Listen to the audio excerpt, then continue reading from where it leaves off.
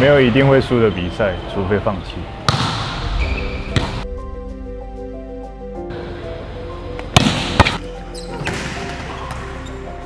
你必须非常努力，才能看起来毫不费力。宁愿在练球时间多花一点汗水，也不要最后后悔了比赛完流泪水。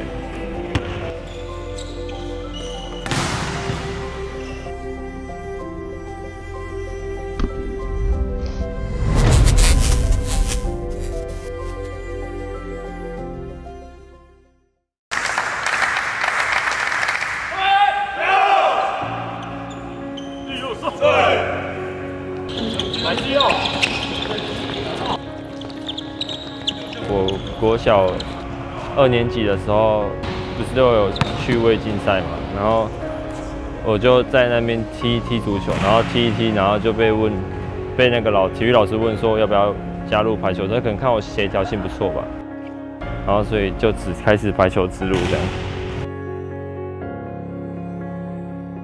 洪金星是个蛮特别的选手，高中的时候是最佳副卫，所以其实蛮多体育系的学校都抢着要他啦。我忘记那时候是高二还高三了，然后那天刚好那个主任下去要拉选手来富城高中找我们，就是可能来读中原之后对以后有什么帮助啊，还是做的工作大概是什么，所以我是选择来读中原大学。其实他在国小的时候就有发觉到这个小孩很特别，是来自于国外。他国中也拿到了他们家族冠军，也拿到了 MVP。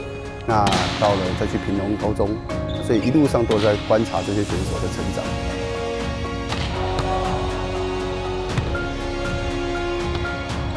国中打球的时候，就是周元教练就有指导我，每次打完他就会跟我讲一些我可以改进的地方，就是比如说这个攻击。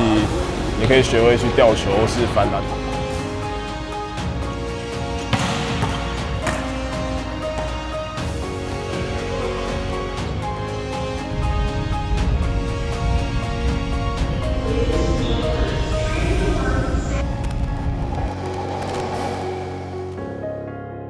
跟西米的爸妈再做一次确认啊，因为之前是有谈好了，只是蛮还蛮不放心的，所以想再下去屏东跟他们谈谈看。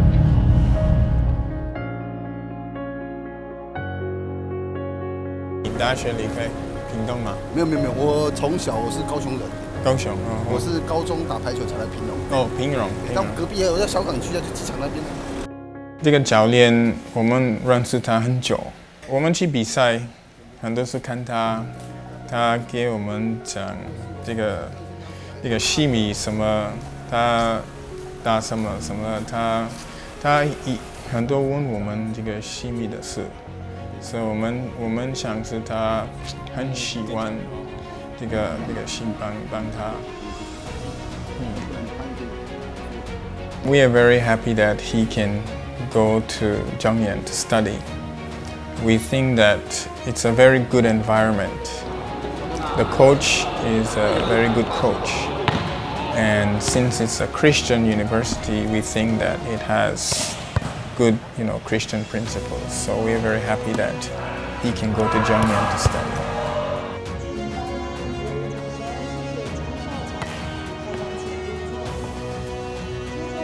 At Taiwan, 你如果球技一过了，那个年纪一过了以后，那你要工作的时候，你的技能在哪边？你不能只靠打球啊，因为台湾的排球没有职业队啊。学校有提出一个类似课业守护的东西，然后就是你去找一个同班的同学或是你的朋友，这个课后的时间帮你加强那一科的强度，他就是负责要帮我辅导这一科，让我这一科可以不不要被挡这样。差不多十月吧。到二月这段时间，刚好是七点开始，然后也是大专杯的联赛开始，然后又是期中一定会遇到期中考，跟一些可能课堂的小考之类的，所以有时候六日比完赛，然后可能你隔天礼拜一有要考试的课，然后你回来不能休息，你还要继续读。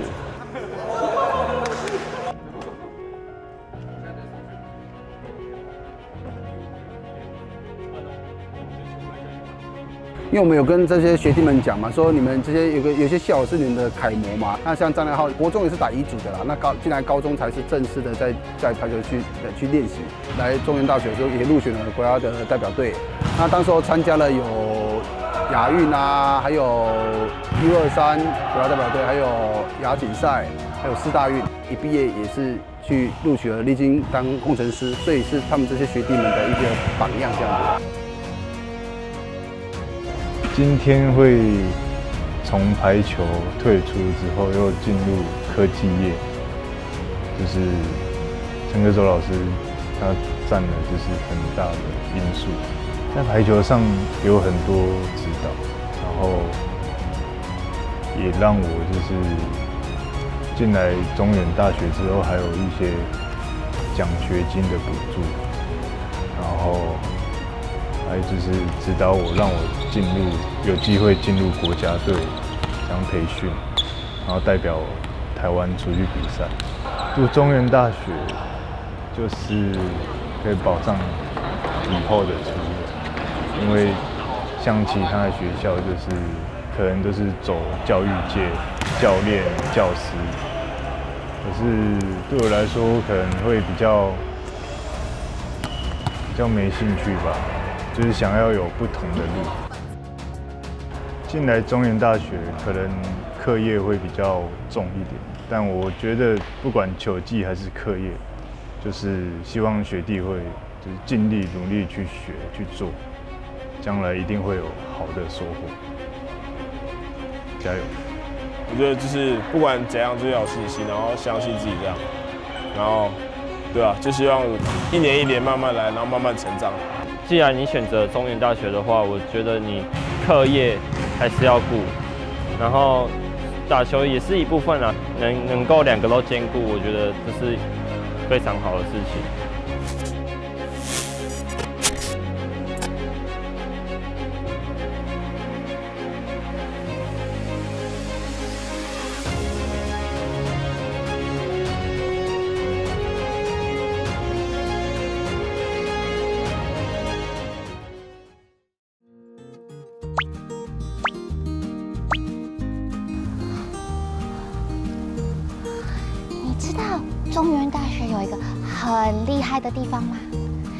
道对吧？走，我带你去。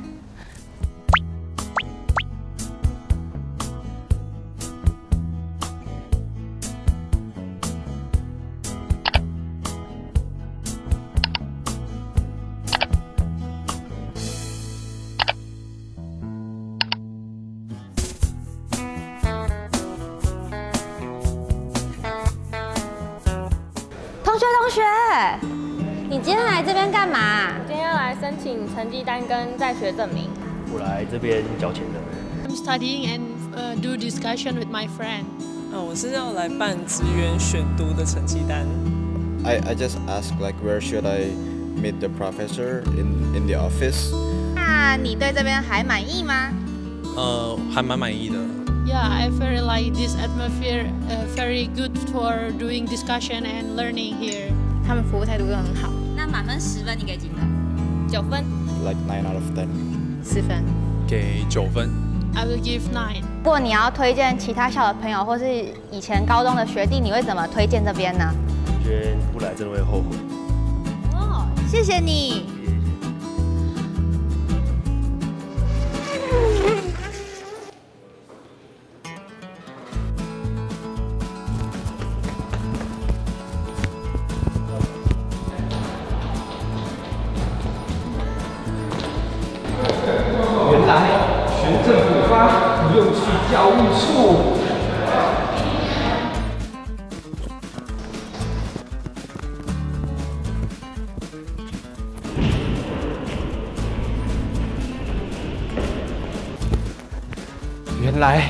奖惩记录申请不用去学务处。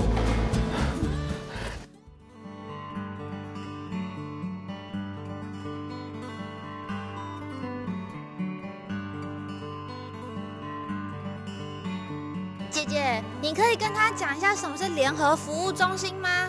好的，没有问题。联合行政服务中心是全国首创，然后将所有学校的教务、学务、总务还有校友服务也都整并在一起了。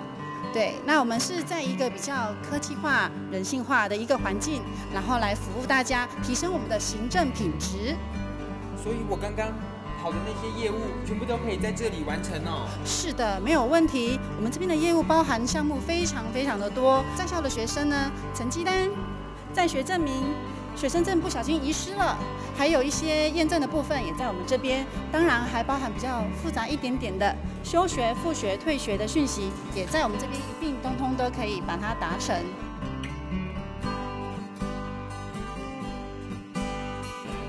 而且我看这边的环境超级宽敞明亮，好多学生在读书，在休息哦。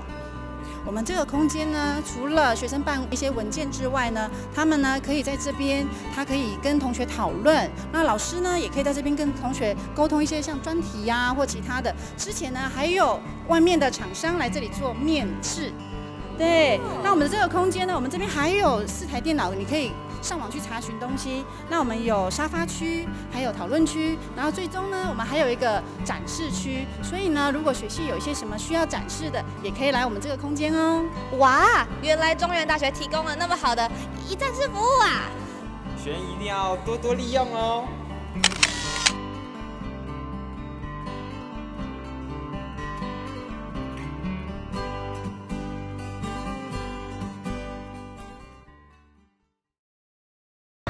小学一年级就开始学，我哥哥都欺负我，我每次都跟他吵架，然后我吵不赢，妈妈就叫我去学跆拳道。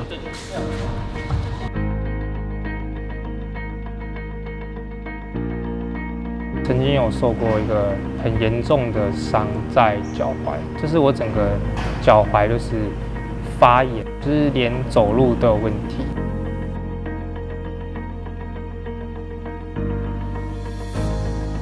所以我要就是借由平常的练习来克服这个恐惧，让自己比较上场对练的时候就可以比较好好发挥自己的实力。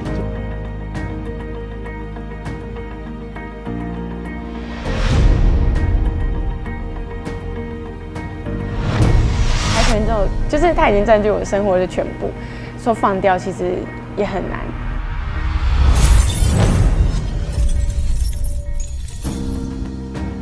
上个学年是队长，工作内容就是负责带比赛，然后平常的教学。那我现在就变成副队长，就是去辅助队长做他要做的事情。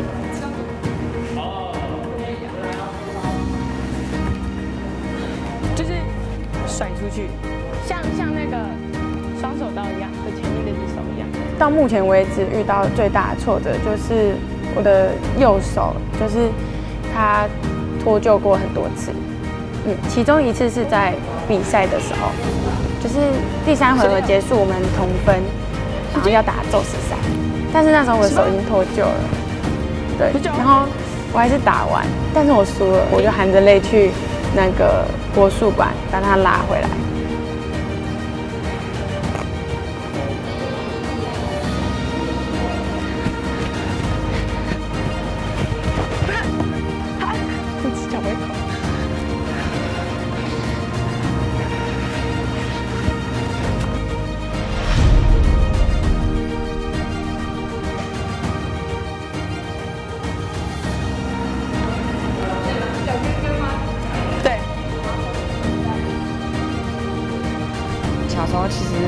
是对打，然后后来因为我中间隔了大概六七年都没有打对打，所以就是可能人家在练习的时候就在练其他动作的时候，我就要在旁边就是扶着杆子，然后就是就是这样脚就撑在那边撑很久。在这边很多的大家也都是中间断了很多年，然后就是你会感觉你不是唯一一个那种重新拾起跆拳道那个人，大家一起运动，一起流汗，然后一起笑，然后一起进步，那种感觉就是很棒。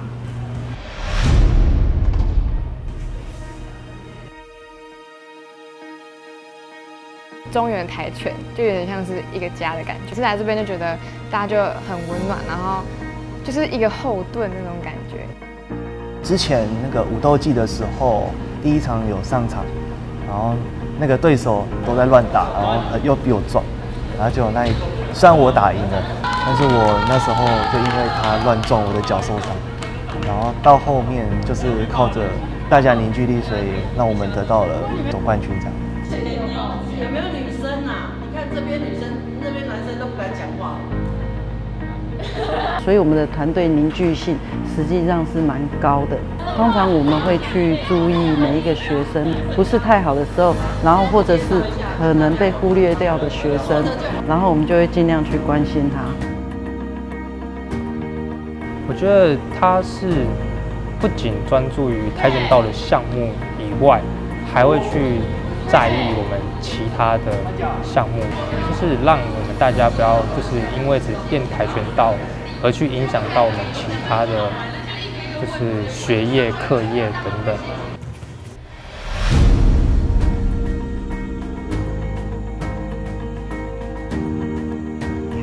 我现在是会计系二年级升三年级，平常我都是因为平常一二四练习，然后礼拜三就是下午有晚课，然后礼拜五的话也是要去道馆教小朋友，嗯，所以其实平日的时间是很很满的。我通常都是利用礼拜六晚上或者礼拜日来做，就是一个整个整周的读书。四二五四千两四十二万吧，四十二万。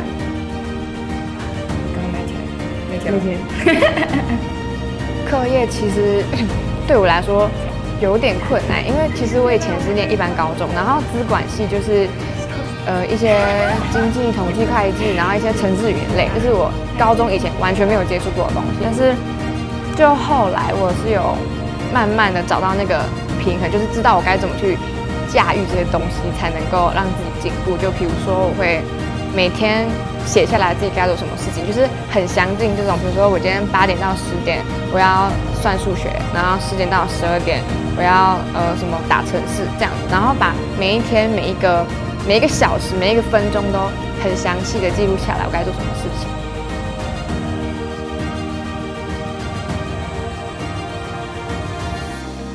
因为其实平常在会计系的班上，就是大家下课都会冲去问老师问题，那我就是觉得很紧张，而且他们其实是很认真的读书，然后考就是考得很好，那我是不是也要加油？就是会有一些外力的刺激的感觉，嗯，然后平常在社团的话，就是因为我们社团就是虽然是体育性质的社团，但是很多功课很好的同学来，所以其实。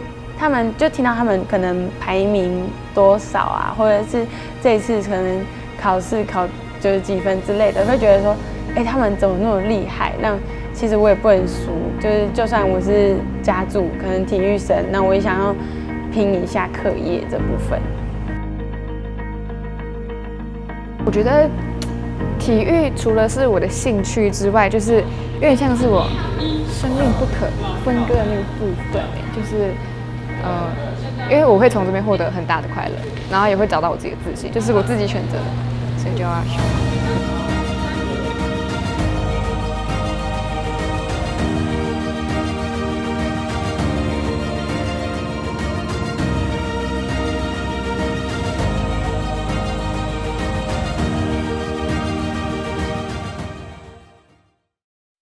Hello，大家好，我是 Wendy。我是来自一零三级中原大学毕业的校友，我在这边的职位是 auditor，这里有很多的会计跟审计的知识，可以和以前学到的东西应用在实务上。这边的学长姐都很照顾我，就是遇到问题的时候，他们都会蛮热心的帮我解答。因为有一个学姐的身份连接，自己以前走过的路，他们现在正在走这个路，希望可以。给他们更好的一些讯息跟方向，我觉得提息学弟妹的那个那个心情是很很很快乐的。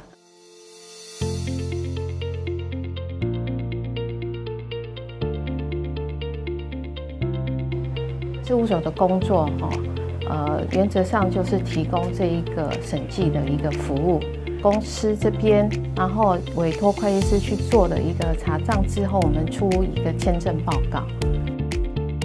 安侯建业联合会计师事务所是全球四大会计事务所之一，每年透过校园征才，广聘全台毕业人才，而其中中原大学会计系更是常态录取的优质学校。我们原则上每一年以全 KPMG 的话，应该有三四十个；那以新竹这边的话，大概六到十个。一般企业为因应六月底前的股东会、财报及会计审查等工作，都会集中在上半年。中原会计系校友除了必须发挥日常不断精进的会计专业外，使命必达及负责任的态度，也让事务所的高层对他们留下深刻的印象。中原会计这边，我们人很大的一个特质就是我们都蛮吃苦耐劳。路易斯是，他是他也是中原会计系毕业的嘛，哈。那其实他工作上也是很认真。你交付一件工作给他，他就会使命必达，帮你做到好。他本身因为自己现金很多，所以不用去借款哦。我们会去参考一些外部的银行，去看看他目前公告的借款利率是多少，来去判断说他是不是他的现金是不是使用的合理。我们会根据每一季的不同的的情况，先去召开一个审查前的一个会议，提醒他们就是那些下面的 staff 们去注意说，这些客户哪些是需要注意的科目。上一次客户提供的 PPC 比较慢，就是造成我们作业上有点急促。那我想就是这一次可不可以请经理就是帮忙跟客户沟通一下？会后之后，我会再打电话给客户，就就跟他说一下，目前希望他可以准时提供一下我们的律师。好，谢谢。上面的学长姐几乎都是已经是会计师，问他事情的时候，他们也不会去去特意逃避，或者真的出了什么大事情啊，他们也会义无反顾的自己去解决，不会说有像有些就是怕担责任。我在带学弟妹的时候，或是带一些下面的同仁，呃，面对一些比较困难，就是比较困难健身问题的话，我都会亲自带他们在，就直接跟他们一起去。资深学长姐提携学弟妹，而学弟妹在接棒照顾新进同仁，彼此相互琢磨精进，在工作中形成良善的循环。而这股循环不止在事务所内进行，更向下扎根至中原大学会计系。Emily 带领着一群优秀讲师，着手规划课程，不仅回馈母系。也很踏实地提升了会计人才应该要有的业界知识与格局。你们明年度就要进入这个就业市场，成为社会的新鲜人。那在整个的工作领域上面，好，我们会把我们过去的经验给各位同学。那我们先先掌声欢迎陈正乾会计师。那我们希望透过我们这个实务课程，把他们在学校学的这些理论基础，那你怎么运用到我实务上？所以我们课程的规划安排上面，原则上是会搭配几个比较夯的议题的这种课程安排方式。我想学校事实上某一种程度，应该是说我们生命中的贵人。那呃，因为在学校得到一个很好的训练，所以啊，出去以后能够有一个还不错的发展。那所以我想回到学校，某一种程度也是希望有机会利用这个善缘，啊，扮演这个啊学弟妹的一个贵人。我感到很欣慰的就是说，学弟学妹也是很能够被看行的呀，所以我们看行了，觉得很有面子，就会继续一直。呃，不断的有努力的动力来做这件事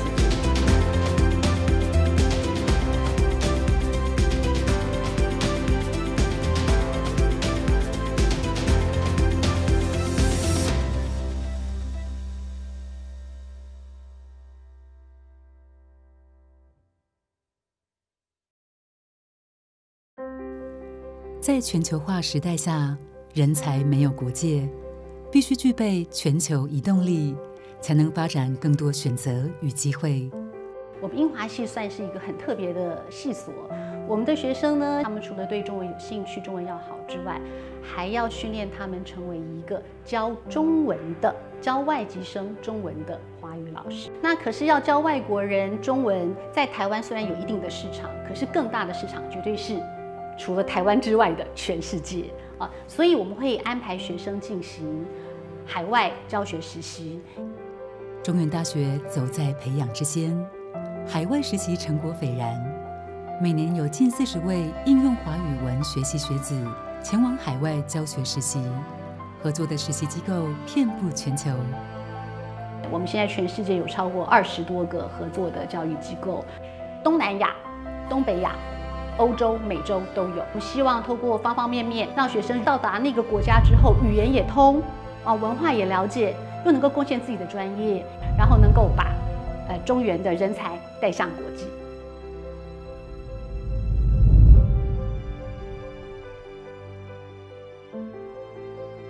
主要是以教授日本高中毕业生中文，我们提供的就是他们中文的课程，让他们可以就是学完中文以后到台湾申请大学，然后读大学。因为海外的中文老师有限，那你可能要面对的是一个班级进行授课。想要累积经验的话，通常就是到海外进行大班教学才会有这样的机会。这张卡片是就是我去日本实习的时候，学生们大家合力写，然后。制作的一张精美的卡片。我觉得去日本实习可以增进我的国际视野，是累积你的教学经验，还有你的就是问题解决的能力技巧。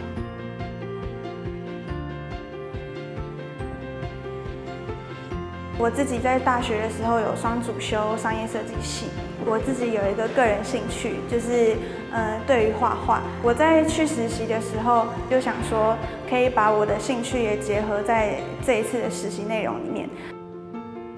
我们是去了两间国小，那一间是在泰国的曼谷市郊，有点像是台北跟中立的距离。那另外一间是在泰国的东北，就是他们的一个比较乡村的一个地区。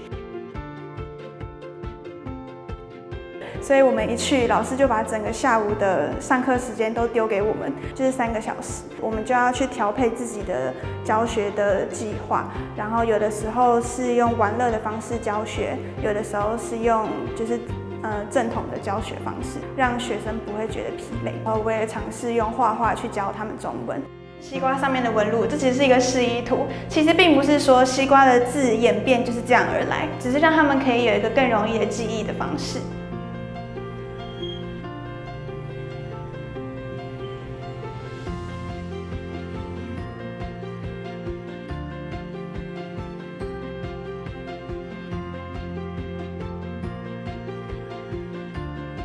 我觉得实习就是让我们可以走出教室，然后把我们在教室里面所学的东西实际的应用出去。我们教学的时候是没有没有正式教室，就是让你们自己在上面。像都市的小学就是跟我们平常的，就是小学都很像，平常所熟知的。但是乡村的那所国小就是全校才一百多个人，然后甚至可能三年级才八个人之类的。深入的走进这些东南亚国家，然后走进当地的生活，我觉得可以看到跟我们原本熟悉的生活方式很不一样的。那我觉得是在这个过程当中，我们可以更知道我们所学的东西是不是足够的。回来台湾之后更有方向，然后知道哪里不足之后，我们就在哪里做加强，然后之后才有动力就是再出去。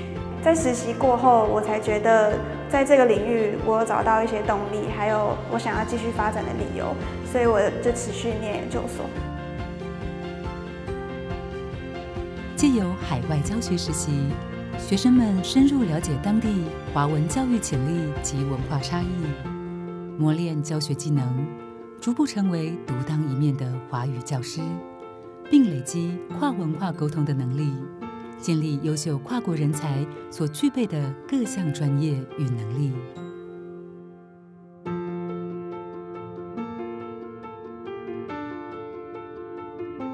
中原海外实习，给自己一个挑战与磨练的机会。海外实习，走出舒适圈，认识不一样的自己。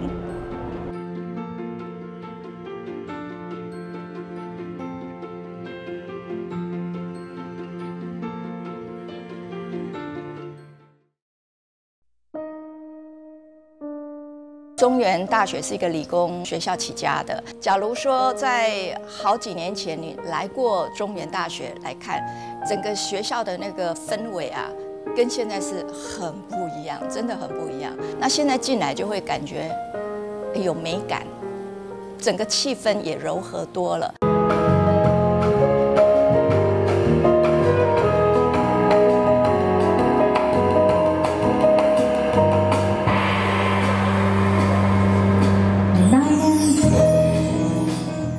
我很喜欢听音乐。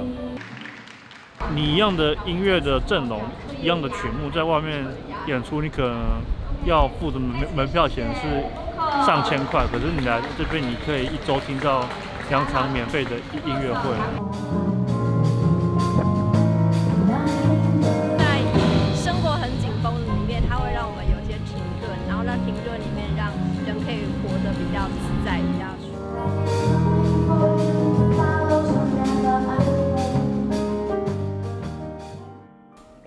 讨论什么事儿？有关一些校内的音乐活动，还有我们一零九之一的那个风雅颂的新的节目，我们每一年都要花到两百二十万左右，大部分就是校长会去募款，哎，所以校长很辛苦，常常就会有呃去找机会去募款。那天有跟校长讨论说，因为两家厅无也是最主要是要给学生用的，所以我们那天安排都是年轻的音乐家。我我问你，我们学校你是钢琴社的辅导，我们学学校钢琴社里面最 top 的，有我来找，好好有好好。现在练两个。校长本身也很喜欢音乐，也觉得说，呃，需要培养学生在这种美育方面的教育，让学校带点一点有生气，也有机会有地方可以沉淀自己。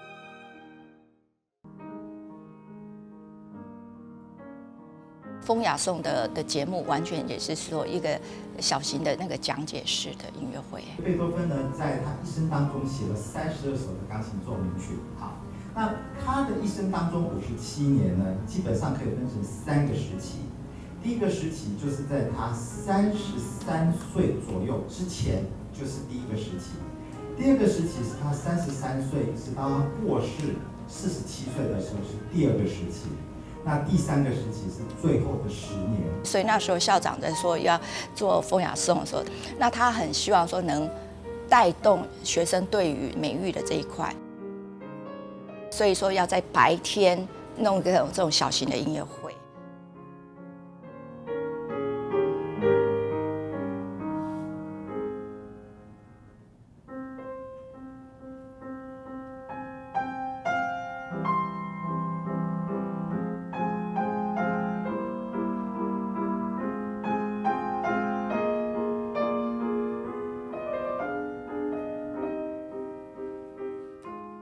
音乐会水准都是国家音乐厅等级的，很多学生也觉得很新奇，也觉得说哇，好棒哦！我能在学校里，我就可以听到，哎，这么高品质的音乐会。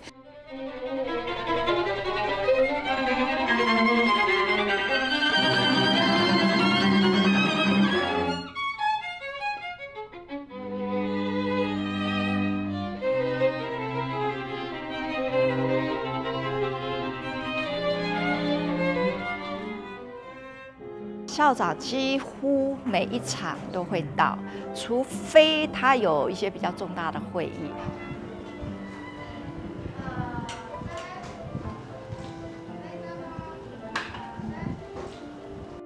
总共申请的节目有三十四场，总共我们有二十八天可以安排场次，然后有四场户外音乐会，所以总共我们需要选三十场。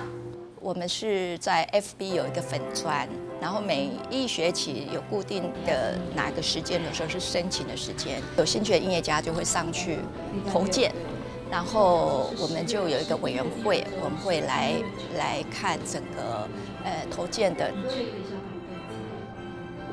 我是中原第一个教音乐欣赏课的老师，我还印象很深刻。有一天我下课，然后我出教室，教室门口就放了一个纸条。那学生写给我的纸条，他说：“老师，我觉得你教的太专业了。”那这句话虽然已经二十几年前的事，但是对我来讲冲击很大，所以我一直在思考说如何就是说让非音乐系的学生、一般的学生能去呃了解，或者能去带领他们来欣赏。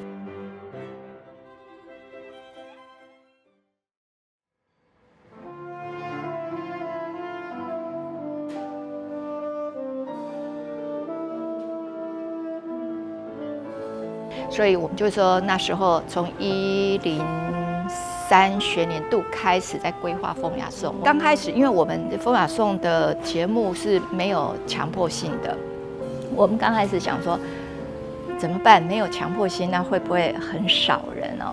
那我印象很深刻，那时候一个第一个月过后，我们完全都不担心这个问题。我们是希望说，呃，给学生一个培养一个译文的的风气。那我们也不希望说学生就是只专注在他的课业上，有时候说实在，他也需要培养一些抒发的管道，能去接触一个呃全人的养分吧。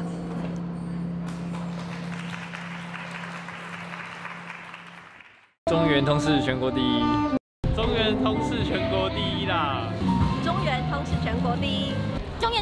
全国第一。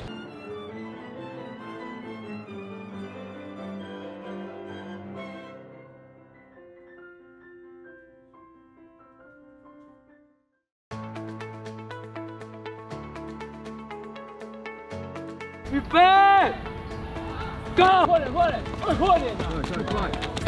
谢谢，谢谢，谢谢。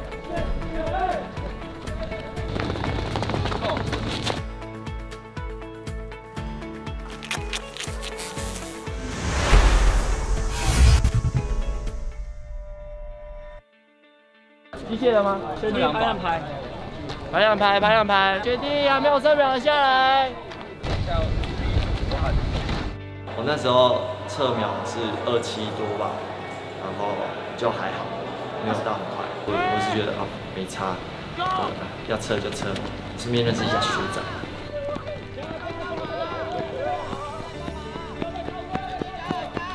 加油加油加油！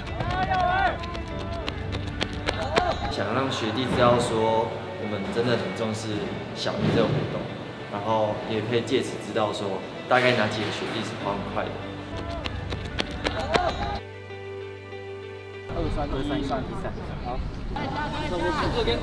从新生进来第一天测秒完，然后接下来一开学就开始完全不间断的，只有六日休息。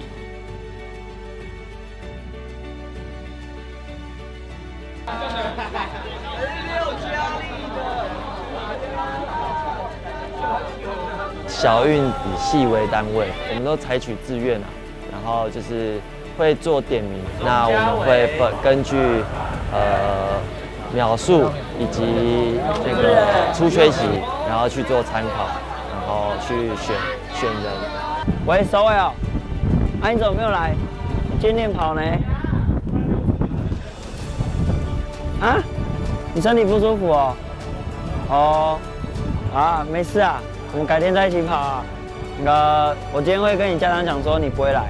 钟学林是大二的系学会的储备干部，然后，呃，他大一也有跑过，然后他是跑，他跑二十五秒吧，然后反正是跑蛮快的。我也希望可以透过他，让学弟更知道说，就是机械到底是为什么连霸这么重要的东。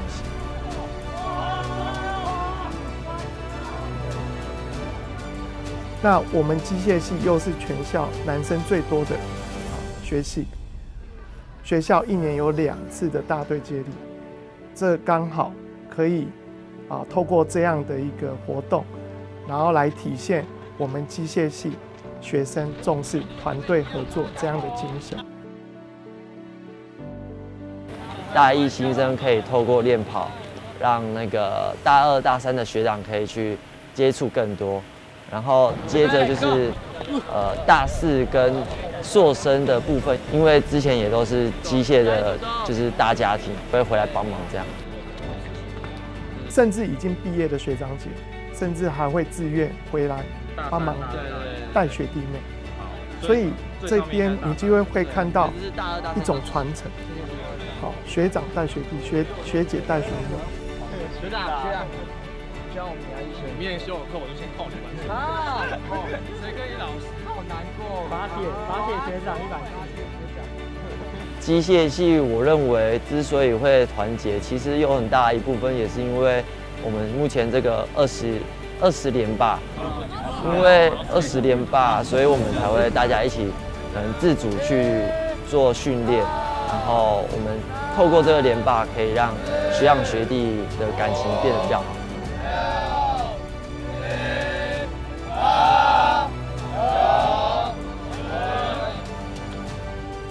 那全能教育真正教育我们的，就是这种扎实的软实力。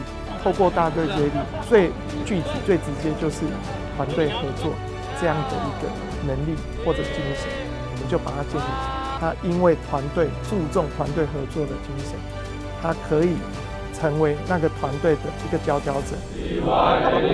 中原第一，不要爱极限，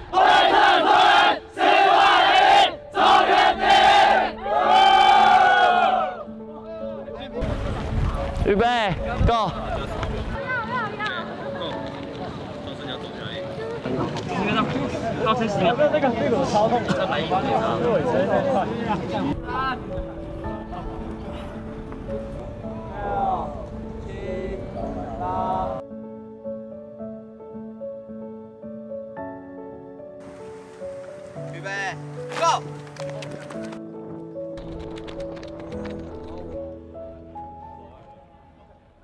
帮你压，要帮你压。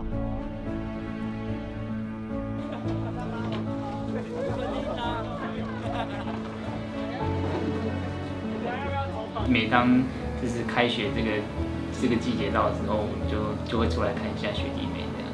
比赛一定会紧张嘛？对，那第一个最常发生的就是会去抢棒子。其实抢棒也是最容易发生掉棒的情形，所以我们基本上最后的一个礼拜全部都是去磨这个接棒的动作。对，注意一下他们有没有那个会抓棒，就是前面的人会去抽抓，去硬抓后面的棒，等他碰碰到他就把他抓走，那就最容易喷飞。为什么会愿意做这件事情呢？就是对机械系有一个归属感吧，很喜欢就是在就是在练习的过程中去看他们每个人的成长进步。对，没关系，因为你要等他完全升起来，他动作还没结束，你突然给他，他会吓到。好好跑，其实我觉得是 OK 的，是吧？然后就有有自信一点。就好，虽然今天很冷，那你就是调到你自己不会觉得冷就好，不要说要洗很热，然后让肌肉放松，你一松会松两天，你明天就跑不起来了。对，这要大家注意一下。我并不是以看他们连霸这个心态去看他们的这个练习，而是看说，哎，今年又是一个旧生代新生，然后一起出来享受运动觉得比较骄傲的地方。当看见许多重大的革新进步，让中学大学今年的校庆。中原第一，极限极限极限极限极限极限极限极限极限极限极限极限，极限是个比赛的第一。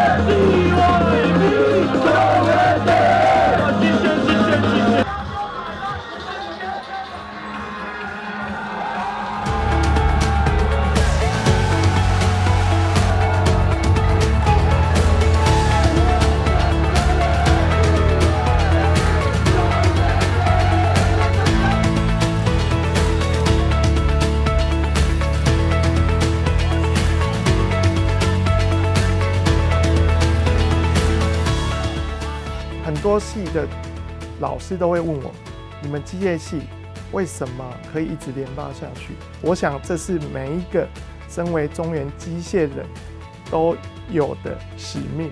辜负学长姐，包含师长的一个啊一个托付，一个期待，所以我们的向心力更好。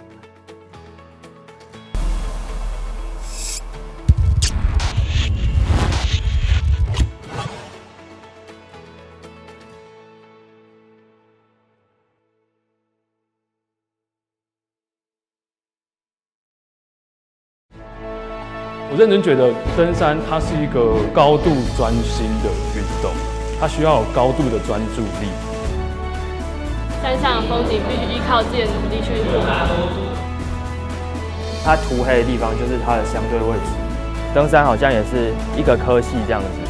我现在登山三年级，采法三年级。除非遇到危险情况，不然不能随意动用。在登山的过程中，会教大家很多不同的技能。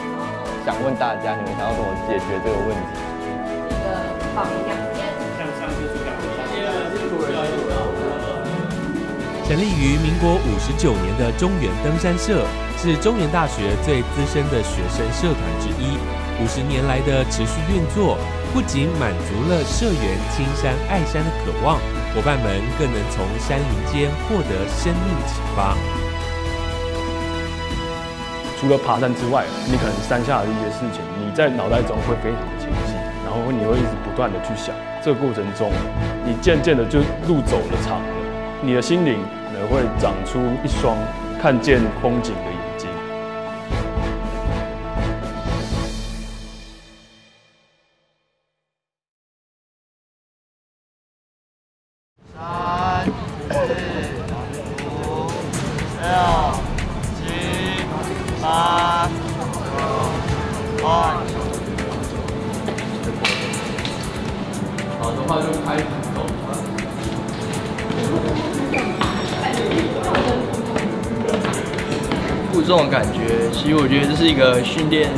力的过程。可以真实模拟在爬山的时候就遇到上坡跟下坡，然后要背重的那种感觉。与其到山上再去说喊累然后不行，不如现在就知道自己能干嘛。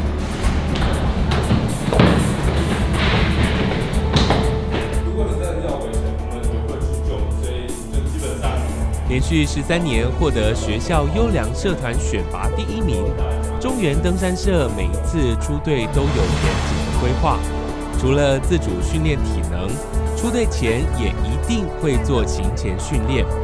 由取得向导资格的伙伴为大家讲解包含失温与意外处置的高山医学，避免迷路的地图绘测，还有摄影、营地建设及登山心理建设等课程。这条线上移动、移动、移动，一直到对到那个它在地图上停留的位置，就是我们现在的位置。因为在山上就是 Google Map 没办法用嘛，那地图就是最基本。你要平常的模拟可能没办法真正的训练到什么，要真正碰到的时候，比较可以训练到你的应变能力跟实际临场转换你的技术这样。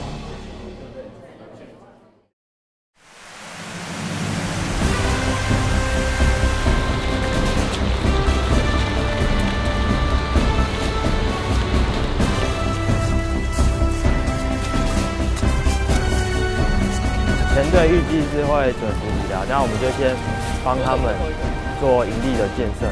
比较棒的是，已经有一座民宅，比较多固定点。那我们搭设起来的话，就比较方便这样子。因为天气这种东西就是不好预测嘛，那人为疏失的话，尽量我们会避免。不行，我再去巨大一点，黄一伟深一点。一场大雨虽然让这次出街向导训练的营地显得泥泞不堪，但训练有素的伙伴们很快地安顿好现场，同时在漆黑中展开这趟行程的第一顿野炊。希望明天出大太阳，蓝色赚大钱，大家都平安。你们这只是只有放个哎，这么花尾，我不知道做什么，做到什么时候。在山下的时候，你没有跟一群人，然后一起就是呃接触一个完全没有接触过的东西，就是一起流血流汗的那一种共患难的精神，又一起住在一起，然后又是同个组别，然后一起煮饭，全部的东西都是由这个组别，就是大家一起完成的。大家都可以提问题，因为呃每个人站的角度不一样，发现。单色最吸引我的地方就是人跟人之间的交流，因为山上就是只有彼此，自然而然就会变得很紧密。再吹一下吕布，吕布，哎还还有吕布啊？例如像今天搭车的位置。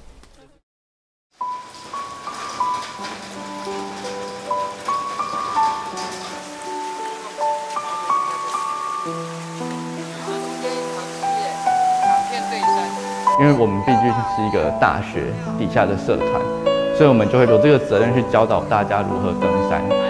那站在这个观念之下，我们就会衍生出有一系列的响训、初想或中想。那我们从最基本的东西教起。登山不是只有攻山头，不是只有爬山，而是在这彼此之间很多的过程里，我们去互相学习跟交流。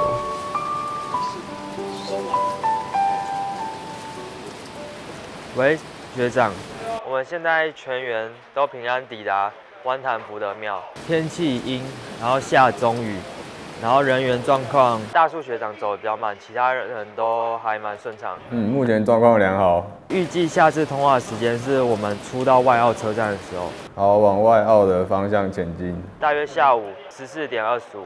好，我会帮你们查电信状况的。为了让爱山的伙伴们毕业后仍能持续登山喜好，并且维系友谊，林廷芳学长在一九九一年创立骆驼登山会，提供毕业舍友一个类似校友会的组织。由于舍友感情好，慢慢建立出在校时加入登山社，毕业后加入骆驼登山会的传统，同时让在校的山社学弟妹有更多机会与毕业学长姐交流。困难被克服，就是机会。任何事情要全力，所以参加向导营哦，拜托哦，认真的学。一包米一一斤煮几碗？两碗哦，哇，那你完蛋了。你可能要背一个布袋哈上去，不然你们绝对吃不饱。第一个是五月份的迎新送旧，第二个是十二月份的老三八回潮。这是一个非常好的事情，因为在学校呢，你有老学长回来做经验分享跟交流，其实有些东西是需要这些延续的传承。那学长呢，他也可以发挥他的所长，在他当初在学校所学，或者是在外面所学，看到新的知识或装备或设备，来跟我们这些在校生呢做分享。二零一九年五月。中原大学登山社举办五十周年庆祝活动，将近三百位舍友回潮团聚。从最资深的第三届舍友到第五十届学弟妹，大家齐聚一堂，展现了跨越半世纪的凝聚力与向心力。而山社毕业舍友很多是企业界、学界及各领域翘楚，正是中原大学培育敬业乐群的优秀人才。追求真知力行、治校精神的最好表现。基本上，我从读书的时候我就搞不清楚什么叫全人教育，但是等我毕业之后，我发现全人教育这个宗旨是对的。因为其实你说你读书多厉害，或是你多专精在某一部分，最终而言，你除了你的专业之外，你在沟通上面，还有你的心智成熟，还有你跟你对事情的坚持。是非常重要的。这个东西是从哪来？全人教育，因为学校可能没有办法像中原这样很全面性的让学生发挥这个社团的活动。哦，你在社团遇到问题，你有在自然会遇到。这期在除了你的功课业之外，其实在训练你其他的心智跟品德。对我们以后工作或是不管家里家庭生活，我觉得都是一个非常好的一个教育方式啊。